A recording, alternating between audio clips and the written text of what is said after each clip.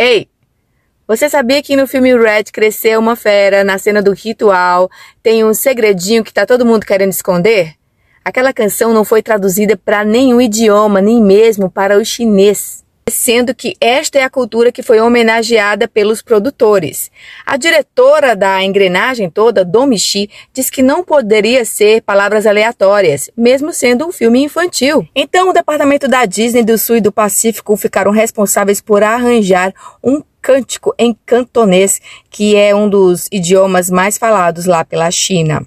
A música de invocação ao espírito do panda vermelho é curta, é repetitiva, mas quando os repórteres perguntaram para Domichi o que significava, ela disse que tinha esquecido.